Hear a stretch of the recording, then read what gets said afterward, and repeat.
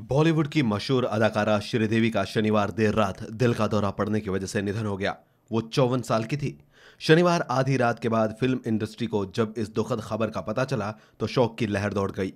भारतीय फ़िल्म जगत श्रीदेवी के निधन पर शोक व्यक्त कर रहा है। श्रीदेवी के निधन की खबर से कमल हसन गहरे सदमे में है। कमल और श्रीदेवी ने सदमा में साथ काम किया था।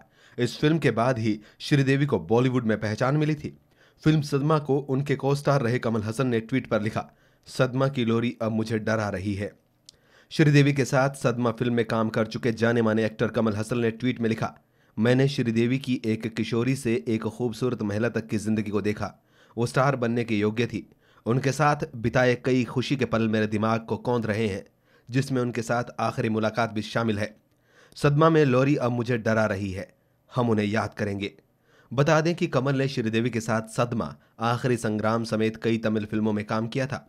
असल में बतौर लीडिंग, लेडी उनकी पहली फ़िल्म कमल हसन के साथ ही थी, जिसका नाम था मुदूर मुदुचू, जो उन्नीस सौ छिहत्तर में रिलीज़ हुई थी।